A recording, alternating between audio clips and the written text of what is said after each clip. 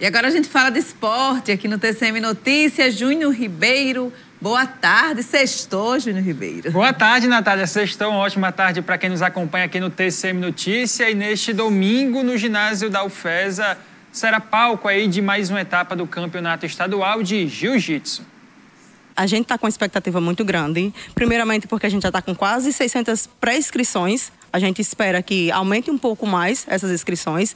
E referente à outra pergunta, a gente vai da categoria de criança a adulto master. Uh, começa com o infantil, depois o juvenil, aí vai adulto feminino e começa os adultos masculinos.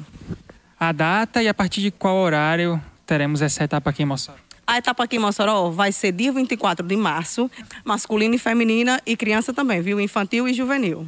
Com relação ainda à importância desse evento para o jiu-jitsu aqui em Mossoró, o quão a etapa de um estadual aumenta ainda mais a visibilidade para os atletas aqui do município?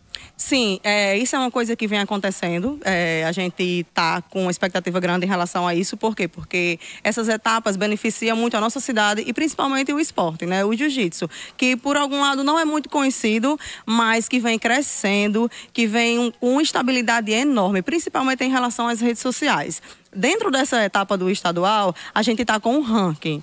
O que é o ranking? O ranking é uma a federação do meu professor Berg, junto com o Fábio, tá? Que eles fazem por categoria para ganhar uma premiação no final do ano. Mobiliza o atleta, mobiliza a academia também em si e todas as equipes. Para quê? Para ter um, vamos dizer, mais competitivo, ter uma competição, ter um gostinho de quero mais, fazer com que o atleta é, treine mais para ganhar alguma coisa futuramente lá. E isso engrandece também a academia em si, de cada atleta, de cada professor, porque eu sei o quanto é importante ter seus atletas todos os dias dentro da academia. Yeah.